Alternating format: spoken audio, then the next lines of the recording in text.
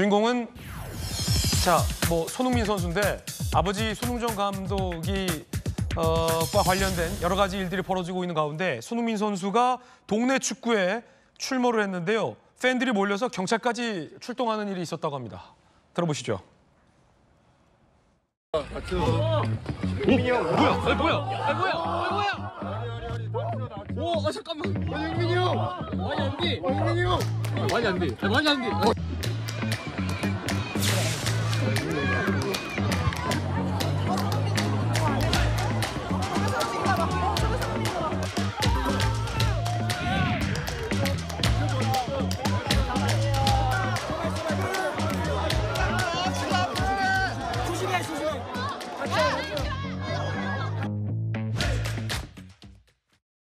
순식간에 수천 명이 몰려들어서 위험하다라는 이 경찰 신고가 여러 차례 있었다고 합니다. 경찰이 떴습니다. 손흥민 선수는 예측을 못했겠죠. 이렇게 입장 밝혔습니다. 들어보시죠.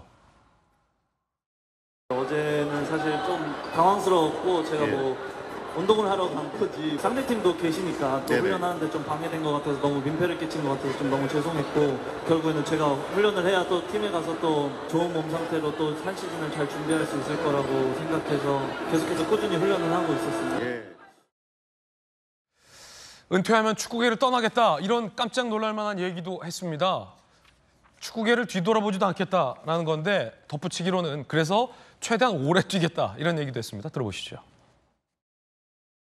관련된 일로는 아마 저를 못 보실 것 같아요. 그 마음은 정말 변함이 없고 많은 축구 팬분들을 위해서 제가 축구를 하고 있고 또 제가 즐거운 모습을 보여드리고 또 그것을 행복해 해주시는 거에 있어서 정말 너무나도 감사드리지만 축구 팬분들은 저를 좋아해 주시는 분들은 제가 축구를 했을 때 가장 좋아한다고 저는 믿어요. 그래서 그 분들을 위해서라도 제가 정말 할 수 있는 한 최대한 오래 할 거고 실망시켜드리지 않을 거고 근데 제가 정말 축구계를 은퇴를 하는 날에는 아마 축구에 관련된 일은 하지 않을 거라고 그 마음은 아직도 변함없이 단단하게 굳어가고 있는 것 같습니다.